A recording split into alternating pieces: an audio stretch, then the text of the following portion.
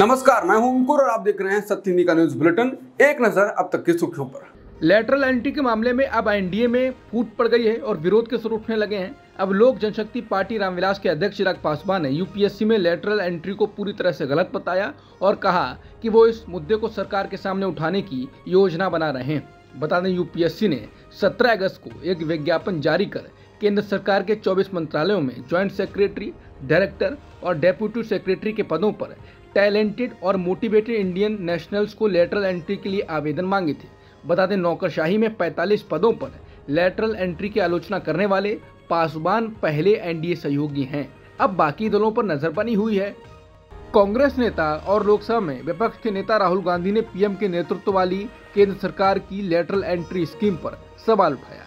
उन्होंने इसे बहुजन समाज के आरक्षण को छीनने वाली प्रक्रिया करार दिया है। साथ ही कहा है कि बीजेपी इसके ज़रिए संविधान को नष्ट करना चाहती है। राहुल ने कहा कि लेटरल एंट्री दलित, ओबीसी और आदिवासियों पर हमला है। बीजेपी का तोड़ मरोड़ कर पेश किया गया वर्जन संविधान को नष्ट करना और बहुजनों से आरक्षण छीनना चाहता है। केंद्र में शीर्ष सरकारी पदों पर लेटरल एंट्री के ज़रिए लोगों को भर्ती किए जाने के केंद्र के ताज़ा प्रयास पर कांग्रेस नेता राहुल गांधी ने कहा कि प्रधानमंत्री मोदी, यूपीएससी और संविधान को कमज़ोर करने में जुटे हुए हैं। राहुल ने कहा कि यूपीएससी के माध्यम से पारंपरिक भर्ती प्रक्रिया को दरकिनार करके आईएएस को प्राइवेट कर रही है। गांधी ने यह भी आरोप लगाया कि मोदी सरकार आरएसएस से जुड़े लोगों की भर्ती इन सेवाओं में कर रही है। राहुल गांधी ने एक्स पर लिखा केंद्र सरकार के विभिन्न मंत्रालयों में महत्वपूर्ण पदों पर लेटरल एंट्री के माध्यम से भर्ती करके एससी, एसटी और ओबीसी श्रेणियों का आरक्षण खुलेआम छीना जा रहा है। केंद्र की मोदी सरकार ने लेटरल एंट्री को बड़े पैमाने पर लागू करने का फैसला किया है। केंद्र सरकार साल 2019 में सरकारी नौकरशाही में बाहरी विशेषज्ञों को लाने का तरीका लाई थी, जिसे लेटरल एंट्री कहा जाता है। मोदी सरकार इसे फिर दोहराने जा रही है। इस बार लेटरल एंट्री के तहत सरकार का लक्ष्य संयुक्त सचिव, उप सचिव और निदेशक स्तर पर 45 डोमेन एक्सपर्ट्स की भर्ती करना है। सरकार के फैसले के बाद विवाद छिड़ गया है। सपा प्रमुख अखिलेश यादव से लेकर बसपा सुप्रीमो मायावती ने इस फैसले के खिलाफ मोर्चा खोल दिया है। बसपा सुप्रीमो मायावती ने इस फैसले पर नाराज़गी जताते हुए कहा कि केंद्र में संयुक्त सचिव निदेशक एवं उप सचिव के 45 उच्च पदों पर सीधी भर्ती का निर्णय सही नहीं है क्योंकि सीधी भर्ती के माध्यम से नीचे के पदों पर काम कर रहे कर्मचारियों को पदोन्नति के लाभ से वंचित रहना पड़ेगा। वीएसपी चीफ ने प्रतिक्रिया देते हुए आगे कहा कि इसके साथ ही इन सरकारी नियुक्तियों में एससी, एसटी व ओबीसी वर्गों के लोगों को उनके वो कोटे के अनुपात में अगर नियुक्ति नहीं दी जाती है तो ये संविधान का सीधा उल्लंघन होगा। इन उच्च पदों पर सीधी नियुक्तियों के बिना किसी नियम के बनाए हुए भरना ये बीजेपी सरकार की मनमानी होगी, जो कि गैर कानूनी एवं असंवैधानिक होगा। लेटरल एंट्री पर सपा प्रमुख अखिलेश यादव ने कहा कि भाजपा अपनी विचारधारा के संगी साथियों को पिछले दरवाजे से यूपीएससी के उच्च सरकारी पदों पर बैठाने की साजिश कर रही है। उसके खिलाफ एक देशव्यापी आंदोलन खड़ा करने का समय आ गया है। देश भर के अधिकारियों और युवाओं से आग्रह है कि अगर भाजपा सरकार इसे वापस न ले तो आगामी 2 अक्टूबर से एक नया आंदोलन शुरू करने में हमारे साथ कंधे से कंधा मिलाकर खड़े हों। सपा प्रमुख ने मांग की है कि भाजपा सरकार इस फैसले को तत्काल वापस ले, क्योंकि ये देश हित में नहीं है। भाजपा अपनी दलीय विचारधारा के अधिकारों को सरकार में रखकर मनमाना काम करवाना चाहती है। नौकरशाहों की भर्ती के लिए लेटरल एंट्री करने को लेकर कांग्रेस नेता राहुल गांधी ने कहा कि केंद्र सरकार ऐसा करके एससी, एसटी और ओबीसी का आरक्षण छीन रही है। कांग्रेस के इस हमले पर केंद्रीय रेल मंत्री अश्विनी वैष्णव ने जवाब दिया। अश्विनी वैष्णव ने कहा कि लेटरल एंट्री मामले में कांग्रेस साफ़ तौर पर पाखंड कर रही है। इस अवधारणा को यूपीए सरकार ने ही विकसित किया था। अश्विनी वैष्णव के मुताबिक साल 2005 में यूपी सरकार के दौरान दूसरा प्रशासनिक सुधार आयोग स्थापित किया गया था। वीरप्पा मोली इसके अध्यक्ष थे। इस, ने स्पेशलाइजेशन को लेकर एक्सपर्ट्स को भर्ती करने की सिफारिश की थी। मतलब मान सकते हैं कि मोदी सरकार कांग्रेस सरकार के नक्शे कदम पर चल रही है। उसके पास खुद का कुछ रोड मैप नहीं है। वो अगर लाए थे तो उसको पूरा करेंगे। मणिपुर में चल रही जातीय हिंसा में मुख्यमंत्री एन बीरेन्द्र सिंह की भूमिका जाँच के दायरे में आ गई है। क्योंकि द वायर की रिपोर्ट के अनुसार पता चला है कि मुख्यमंत्री ने पिछले साल राज्य के कुछ हिस्सों में घातक विनाशकारी गोला बारूद, यानी मोटार बम के इस्तेमाल का समर्थन किया था और हिंसा अभी भी जारी है। रिपोर्ट में बताया गया है कि मणिपुर हिंसा की जाँच के लिए गृह मंत्रालय द्वारा बनाए गए जाँच आयोग को एक ऑडियो फ़ाइल दी गई है। दावा किया गया है कि मुख्यमंत्री एन बीरेन सिंह की रिकॉर्डिंग है। जो अगर सही होती है तो 3 मई 2023 से प्रदेश में चल रहे गृहयुद्ध में आधिकारिक मिली भगत का सबूत मिलता है। 48 मिनट की रिकॉर्डिंग को बनाने वाले ने द वायर को सूचित किया कि ये एक बैठक में व्यक्तिगत रूप से की गई थी, जहाँ मुख्यमंत्री ने चल रही हिंसा में अपनी पक्षपातपूर्ण तरीके से शामिल होने का स्पष्ट रूप से संकेत दिया था। सूत्रों ने व्यक्तिगत सुरक्षा के खतरे के कारण नाम ना छापने का दावा करते हुए द वायर को बताया कि ये सामग्री आयोग को भी सौंपी गई है। सात अगस्त को कुकी स्टूडेंट ऑर्गेनाइजेशन ने एक प्रेस ब्रीफिंग में रिकॉर्डिंग के अंशों की एक कॉपी साझा की और बाद में इन्हें कई सोशल मीडिया हैंडल ने साझा किया। उसी रात मणिपुर सरकार ने एक बयान जारी कर इस बात से इनकार किया कि सुनी गई आवाज़ बीरेन्द्र सिंह की थी और कहा गया कि रिकॉर्डिंग के साथ छेड़छाड़ की गई है। हालाँकि द वायर ने बैठक में शामिल होने का दावा करने वाले कुछ लोगों से बात की। उन्होंने दावा किया कि आवास वास्तव में मुख्यमंत्री बीरेन्द्र सिंह की है और उन्होंने उनकी मौजूदगी में रिकॉर्डिंग में सभी बातें कही थी। इनमें से कुछ लोगों ने बताया कि यही पूरा ऑडियो क्लिप गुवाहाटी हाईकोर्ट के पूर्व मुख्य न्यायाधीश, रिटायर्ड जस्टिस अजय लांबा की अध्यक्षता वाले जाँच आयोग को सौंप दिया गया है। द वायर की रिपोर्ट में कहा गया है कि वो प्रमुख भागों को पब्लिक डोमेन में डाल रहे हैं, लेकिन हम फ़िलहाल ऑडियो के कुछ हिस्सों को रोक रहे हैं, क्योंकि वो राज्य में व्यक्तियों की सुरक्षा पर गलत प्रभाव डाल सकते हैं और व्यापक रूप से तनाव बढ़ सकता है। रिकॉर्डिंग मेतीस और कुकीज के बीच जातीय हिंसा के सामने मुख्यमंत्री के रूप में बीरेंद्र सिंह की भूमिका के बारे में एक महत्वपूर्ण सवाल उठाती है कि क्या वो संवैधानिक कर्तव्य निभा रहे थे या वो अपनी मेतेई नेता के तौर पर अपनी साख को चमकाने के प्रयास में थे। रिकॉर्डिंग में कथित तौर पर मुख्यमंत्री की आवाज़ है, जो केंद्रीय गृह मंत्री अमित शाह से हुई बातचीत का मज़ाक बनाते हुए कहते हैं कि चुपके से बम मारना है। और शाह के आदेशों को न मानने और उन लोगों को बचाने के बारे में डींगे मार रहे हैं, जिन्होंने पुलिस से हज़ारों घातक हथियार ले लिए थे। द वायर ने जो ऑडियो पब्लिश किया है, उनमें मुख्यमंत्री की हिंसा को बढ़ाने की इच्छा साफ़ दिखती है। हालाँकि अमित शाह ने पिछले अगस्त में संसद में बीरेन्द्र सिंह का जोरदार बचाव करते हुए कहा था कि मुख्यमंत्री राज्य में जातीय संघर्ष को शांत करने के लिए सहयोग कर रहे हैं। शाह ने कहा था कि हमने डीजीपी को बदल दिया, उन्होंने केंद्र के डीजीपी को स्वीकार कर लिया, हमने मुख्य सचिव बदल दिया, हमने जो मुख्य सचिव भेजा, उन्हें उसे स्वीकार कर लिया। मुख्यमंत्री को बदलने की ज़रूरत तब पैदा होती है जब वो सहयोग नहीं करता है। लेकिन यहाँ मुख्यमंत्री सहयोग कर रहे हैं। लेकिन ऑडियो क्लिप कुछ और बताती है। ऑडियो में बीरेन्द्र सिंह की कथित आवाज़ को यह कहते हुए सुना जा सकता है, जब अमित शाह आए तो उन्होंने पूछा बीरेन्द्र जी, अरे तुम बम मारता है? बीरेन्द्र सिंह कहते हैं कि उस दिन के बाद से उन्होंने मुझे इस बम का इस्तेमाल करने की हिदायत दी थी कि मत करना। उन्होंने डीजीपी और सभी को बुलाकर हमें निर्देश दिया। ऑडियो में कथित तौर पर बीरेन्द्र सिंह कहते हैं कि शाह के जाने के बाद मैंने कहा चुपके से करना? खुला नहीं करना है। इन बातों का संदर्भ संभवतः 20 मई 2023 से शुरू होने वाली अमित शाह की तीन दिवसीय मणिपुर यात्रा का है। उस समय राज्य के डीजीपी पी डोंगेल थे, जो राज्य कैडर के उन्नीस सौ सतासी बैच के आईपीएस अधिकारी थे।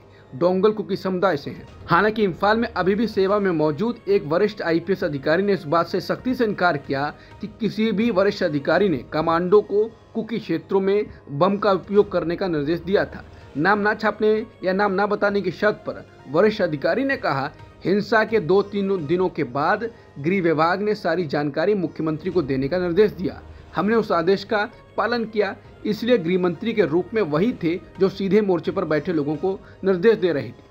ऑडियो में कथित तौर पर मुख्यमंत्री को मैतेई समुदाय के लोगों को पुलिस से हथियार छीनने और गिरफ्तारी से बचाने जैसी बातें हो रही हैं।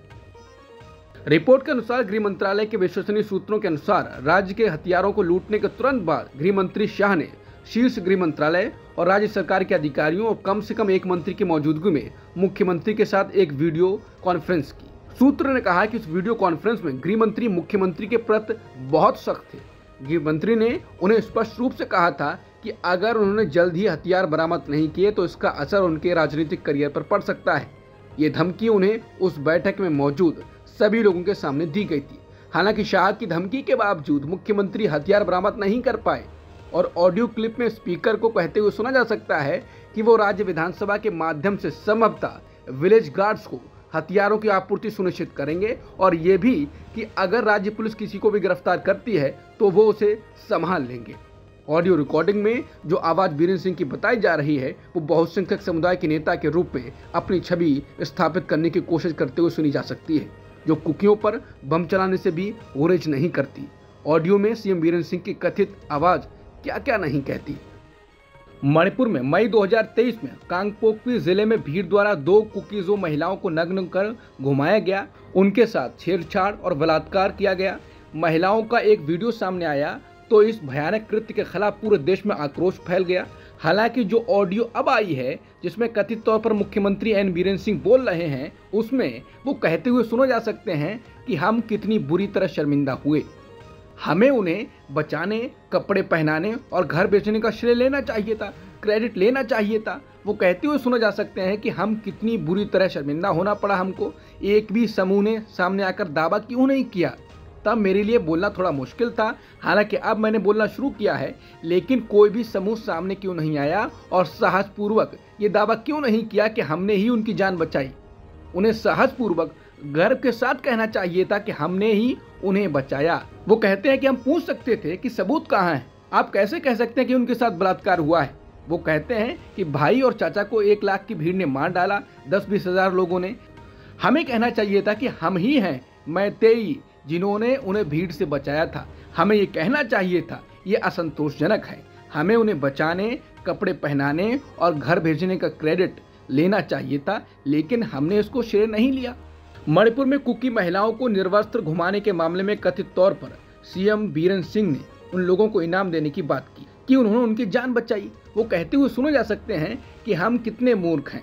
मैंने उन लोगों से कहा, जो लोग उन्हें एनआईए को सौंप रहे हैं, उन्हें बताएँ कि गिरफ़्तार किए लोगों को इसके बदले इनाम दिया जाना चाहिए, उन्हें बचाने का इनाम। आपके राज्यसभा सांसद संजय सिंह ने द वायर की रिपोर्ट को साझा करते हुए कहा है कि सुनिए मणिपुर के सीएम बीरन सिंह को कैसे निर्लजता के साथ कारगिल योद्धा की पत्नी को निर्वस करके घुमाने वालों को महिला का रक्षक बता रहा है और उन असामाजिक तत्वों को रिवॉर्ड देने की बात कर रहा है। मैंने सदन में मणिपुर हिंसा का मुद्दा उठाया। मुझे 11 महीने तक निलंबित कर दिया गया।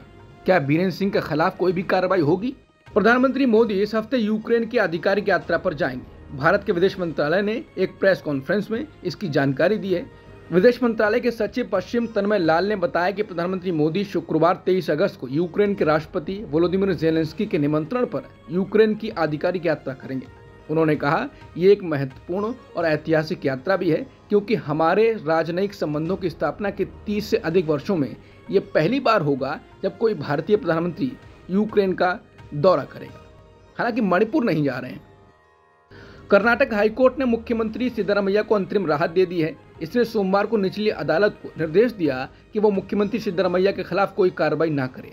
राज्यपाल थावरचंद गहलोत द्वारा मैसूर शहरी विकास प्राधिकरण, यानी एम से जुड़े कथित भूमि घोटाले मामले में कांग्रेस नेता के खिलाफ मुकदमा चलाने की मंजूरी देने के बाद हाईकोर्ट में यह मामला पहुँचा। अंतरिम राहत 29 अगस्त तक प्रभावी रहेगी। इसी दिन हाई कोर्ट इस मामले की अगली सुनवाई करेगा। महाराष्ट्र में विधानसभा चुनाव से पहले आपसी टकराव बढ़ता ही जा रहा है। अब भाजपा कार्यकर्ताओं ने राज्य के डिप्टी सीएम अजित पवार की जन सम्मान यात्रा में काले झंडे दिखाए। भाजपा की जुन्नार प्रमुख आशा बुचाके के नेतृत्व में भाजपा कार्यकर्ताओं के एक गुट ने उप मुख्यमंत्री अजित पवार की जन सम्मान यात्रा के वहाँ पहुँचने पर उन्हें काले झंडे दिखाए। जिसके बाद अजित गुट ने भाजपा से स्पष्ट करने की मांग की है कि क्या वो बीजेपी कार्यकर्ताओं के इस तरह के व्यवहार से सहमत हैं?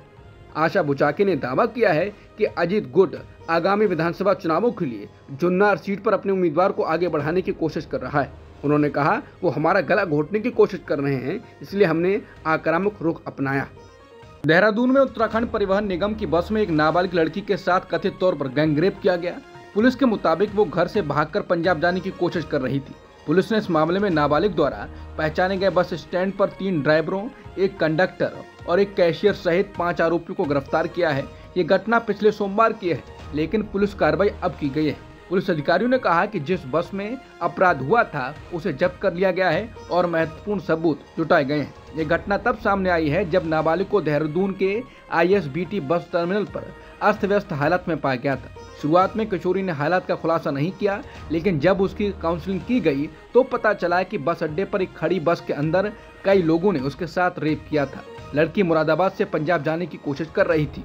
भाजपा नेता और केंद्रीय मंत्री सुकांत मजूमदार ने टीएमसी सांसद सुखेंदु शेखर की मांगों का समर्थन किया। उन्होंने कहा कि पहली बार हम टीएमसी सांसद की मांग का समर्थन करते हैं। हम भी ये मानते हैं कि कोलकाता पुलिस कमिश्नर और आरजी कर मेडिकल कॉलेज के प्रिंसिपल के बीच कोई गठजोड़ था। बता दें, इससे पहले टीएमसी के राज्यसभा सांसद सुखेंदु शेखर ने एक एक्स पोस्ट के ज़रिए आरजीकर मेडिकल कॉलेज के पूर्व प्रिंसिपल और पुलिस कमिश्नर को हिरासत में लेकर पूछताछ करने की मांग की थी। एम्स के रेजिडेंट डॉक्टर्स एसोसिएशन के डॉक्टर्स कोलकाता के आरजीकर अस्पताल में रेप और हत्या की घटना के खिलाफ विरोध प्रदर्शन कर रहे हैं। अपने विरोध प्रदर्शन के तहत आज एम्स के रेजिडेंट डॉक्टर्स 11 बजे से नई दिल्ली के निर्माण भवन के सामने ही ओपीडी सेवाएँ दे रहे हैं। बिहार के पूर्व मुख्यमंत्री और केंद्रीय मंत्री जीतन राम मांझी ने झारखंड के पूर्व मुख्यमंत्री चंपाई सोरेन के बीजेपी में शामिल होने की अटकलों पर प्रतिक्रिया दी। उन्होंने पत्रकारों से कहा कि मैं व्यक्तिगत रूप से चंपाई सोरेन का एनडीए में स्वागत करूँगा, वैसे उनका एनडीए में आना इसके प्रमुख नेताओं की मर्ज़ी पर निर्भर करता है। मुझे भी लगभग ऐसी परिस्थिति का सामना करना पड़ा था जो आज चंपाईदा के सामने है। जीतन मांझी ने चंपाई सोरेन के सीएम पद से हटने से जुड़े सवाल पर कहा कि अगर उन्हें कहा जाता तो निश्चित तौर पर वो सीएम पद से हट जाते। ज़बरदस्ती उनसे इस्तीफा ले लेना या उनके प्रोग्राम को रद्द करना उचित नहीं था। मैंने चंपाई दास से कहा कि आप साहसी आदमी हैं। झारखंड के पूर्व मुख्यमंत्री चंपाई सोरेन के बीजेपी में जाने की अटकलें जोरों पर हैं। इस बीच झारखंड के मौजूदा मुख्यमंत्री हेमंत सोरेन ने बीजेपी पर निशाना साधा और कई आरोप लगाए। मुख्यमंत्री ने कहा कि बीजेपी अलग अलग राज्यों से लोगों को लाकर यहाँ आदिवासी, पिछड़ा, अल्पसंख्यक के ऊपर जहर बोने का काम करती है और एक दूसरे से लड़वाने का काम करती है। हेमंत सोरेन ने बीजेपी पर आरोप लगाते हुए कहा कि समाज तो छोड़ो, ये घर तोड़वाने का काम भी करते हैं, पार्टी तोड़ने का काम करते हैं। आए दिन ये विधायकों को खरीदने का काम करते हैं। हेमंत ने कहा कि पैसा ऐसी चीज़ है कि लोगों को इधर उधर घसीटने में देरी नहीं लगती है। उन्होंने कहा कि इंडिया गठबंधन की सरकार 2019 से लगातार जनता के बीच में खड़ी हुई है। झारखंड के पूर्व मुख्यमंत्री चंपाई सोरेन के झारखंड मुक्ति मोर्चा यानी जे छोड़कर बीजेपी में जाने की अटकलों को कांग्रेस ने सोमवार को खारिज किया। झारखंड कांग्रेस के अध्यक्ष केशव महतो ने कहा कि ये सब मीडिया की अफवाह और अटकलबाजी है। दिल्ली पहुँचते ही उन्होंने कहा कि मैं नजी दौरे पर बेटी से मिलने आया हूँ। महतो ने कहा कि आपने चला दिया कि पाँच सात विधायक उनके साथ आए हैं। आप एक भी विधायक का नाम बता दीजिए। वो अपने व्यक्तिगत काम से आए हैं। उन्होंने कहा कि जेएमएम और गठबंधन के चंपाई सोरेन समर्थित नेता रहे हैं। गठबंधन ने हमेशा उन्हें सम्मान देने का काम किया है। बता दें, इससे पहले चंपाई सोरेन ने सोशल मीडिया प्लेटफॉर्म एक्स पर कहा था कि इतने अपमान एवं तिरस्कार के बाद मैं वैकल्पिक राह तलाशने के लिए मजबूर हो गया हूँ। पीडीपी प्रमुख और जम्मू कश्मीर की पूर्व मुख्यमंत्री महबूबा मुफ्ती की बेटी इल्तिजा मुफ्ती आगामी विधानसभा चुनाव लड़ेंगी। इल्तिजा को अनंतनाग के बिजबेहरा निर्वाचन क्षेत्र से उम्मीदवार बनाया जाएगा। बिजबेहरा मुफ्ती परिवार की गृह सीट और गढ़ है। सैतीस वर्षीय इल्तिजा का ये पहला चुनाव होगा। पता चला है कि महबूबा विधानसभा चुनाव नहीं लड़ेगी। पार्टी आज दक्षिण कश्मीर के निर्वाचन क्षेत्रों के लिए उम्मीदवारों की पहली सूची जारी करने वाली है, जहाँ 18 सितंबर को मतदान होना है। हरियाणा में राज्यसभा उपचुनाव को लेकर पूर्व डिप्टी सीएम और जेजेपी नेता दुष्यंत चौटाला, कांग्रेस के वरिष्ठ नेता भूपेंद्र सिंह हुड्डा पर हमलावर हैं। उन्होंने तंज करते हुए कहा है कि हुड्डा की अगर बीजेपी से साठ गांठ नहीं है तो राज्यसभा चुनाव में प्रत्याशी खड़ा करें। उन्होंने कहा कि 21 अगस्त हरियाणा राज्यसभा उपचुनाव के नामांकन की अंतिम तिथि है। अब तो हमारे चार पाँच विधायक भी कांग्रेसी हो चुके हैं। अब तो कांग्रेस का उम्मीदवार चुनाव जीतने के करीब है। उन्होंने कहा कि हम पहले से ही बीजेपी के खिलाफ वोट करने का वादा कर चुके हैं। बता दें दुष्यंत चौटाला, चुनाव नज़दीक देख ऐसा कुछ हाल के दिनों में कर रहे हैं, जिससे वो बीजेपी के खिलाफ दिखें। हालाँकि कार्यकाल में बीजेपी के साथ सरकार चलाकर और उनमें डिप्टी सीएम बनकर मलाई खाने के बाद अब मुस्लिम नागरिकों के साथ फ़ोटो ट्वीट करते हैं, पहलवानों की बात करते हैं, लेकिन अब कहा जा रहा है कि काफ़ी देर हो चुकी है। उत्तर प्रदेश के उप मुख्यमंत्री केशव प्रसाद मौर्य ने अब मुख्यमंत्री योगी आदित्यनाथ की जमकर तारीफ़ कर दी है। उन्होंने उत्तर प्रदेश के मुर्जापुर में कहा, आप जानते हैं और जनता भी मानती है कि हमारी डबल इंजन की सरकार स्वतंत्र भारत के इतिहास में सबसे अच्छा काम कर रही है। केशव प्रसाद मौर्य ने कहा, दुनिया में मोदी जी जैसा कोई दूसरा नेता है क्या? देश में मुख्यमंत्री योगी आदित्यनाथ जैसा कोई दूसरा मुख्यमंत्री है क्या? उन्होंने आगे कहा, देश का हमारा नेता दुनिया का सबसे प्रभावशाली हो और प्रदेश के हमारे मुख्यमंत्री की अगुवाई में देश के दूसरे मुख्यमंत्रियों की तुलना में सबसे अच्छा काम हो रहा है। बता दें, केशव प्रसाद मौर्य ने ऐसे समय पर योगी आदित्यनाथ की तारीफ़ की है, जब राजनीतिक गलियारों में कहा जा रहा है कि दोनों नेताओं के बीच सब कुछ ठीक नहीं चल रहा है। और कहा क्या जा रहा है, केशव खुद ऐसे बयान देते रहते हैं कि कुछ भी सही नहीं है, लेकिन अब तारीफ़ की है। इससे पहले अखिलेश यादव ने कहा था कि केशव मौर्य कुछ है ही नहीं। मुख्यमंत्री जी डांट देंगे तो वो चुप हो जाएँगे। क्या हिजबुल्ला समूह अब सीधे इसराइल के प्रधानमंत्री बिन्यामिन नेतन्याहू पर हमला साधने का प्लान बना रहा है? क्या वो कुछ बड़ा करने की सोच रहा है? ऐसा इसलिए कहा जा रहा है क्योंकि इसराइली पीएम बिन्यामिन नेतन्याहू के आवास के पास हिजबुल्ला का ड्रोन नज़र आया, जिसके बाद सभी एजेंसियाँ हरकत में आ गईं। बताया जा रहा है कि इजरायली डिफेंस सिस्टम ने इसके लिए अलर्ट जारी किया था इसका दावा इजरायली मीडिया की ओर से कहा जा रहा है। एक जायूनी न्यूज़पेपर ने बताया कि नेतन्याहू के आवास को लेबनानी हिजबुल्ला के ड्रोन द्वारा फिल्माया गया था। हमास ने तेल अवीब बम हमले की ज़िम्मेदारी ली है और अधिक हमले करने का दावा किया है। हमास का कहना है कि उसने इसे फिलिस्तीनी इस्लामिक जिहाद की आर्म्ड विंग, उल कुश ब्रिगेड के साथ मिलकर अंजाम दिया था। कसम ब्रिगेड ने एक बयान में कहा कि ब्रिगेड इस बात की पुष्टि करती है कि जब तक नरसंहार, नागरिकों का विस्थापन और हत्याएँ जारी रहेंगी, तब तक कब्जे वाले क्षेत्र के अंदर ऐसे अभियान होते रहेंगे। अल जजीरा की रिपोर्ट के अनुसार हिजबुल्ला लड़ाकों ने इजरायली सैनिकों के जमीनी हमले को विफल कर दिया। भारी रॉकेट और मोर्टार हमलों का सामना करते हुए इजरायली सैनिकों को पीछे हटने के लिए मजबूर होना पड़ा, जिससे उन्हें गंभीर नुकसान हुआ।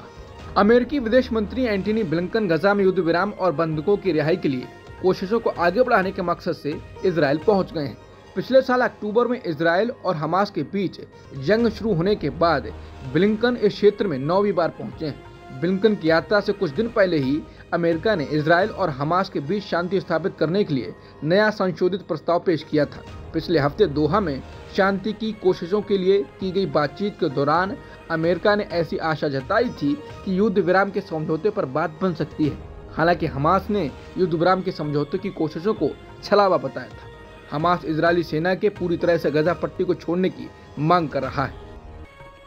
अमेरिका की उपराष्ट्रपति कमला हैरिस डेमोक्रेटिक पार्टी में उत्साह देख और अपनी लोकप्रियता में इजाफा देख डेमोक्रेटिक पार्टी के राष्ट्रीय सम्मेलन में हिस्सा लेंगी। एक नए सर्वेक्षण के मुताबिक अमेरिका के लगभग आधे वयस्क, यानी 48 फ़ीसदी हैरिस के बारे में बहुत या कुछ हद तक अनुकूल दृष्टिकोण रखते हैं। गर्मी की शुरुआत में ऐसे अमेरिकियों की संख्या उनतालीस प्रतिशत थी, यानी कि 39 लिहाजा अब इसमें वृद्धि देखी गई है। बता दें, उस समय पूर्व राष्ट्रपति डोनाल्ड ट्रंप के साथ बहस में खराब प्रदर्शन के बाद जो बाइडन को राष्ट्रपति चुनाव की उम्मीदवारी से हटाना पड़ा था। अब तक की सुर्खों में इतना ही। बाकी खबरों के लिए बने रहिए सत्य हिंदी डॉट कॉम के साथ।